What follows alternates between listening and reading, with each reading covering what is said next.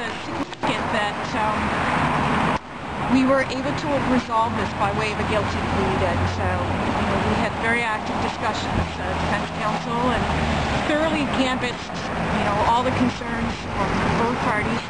And the judge was obviously very interested as well. So, um, you know, it went as planned. You went for a sentence of two years yes. imprisonment. Why?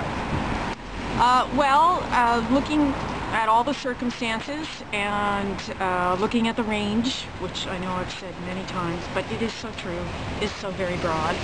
Um, but, uh, you know, the crimes are not insignificant, but also you want to maintain parity, and there were substantial mitigating uh, circumstances in, these, in this case that, as we submitted this morning.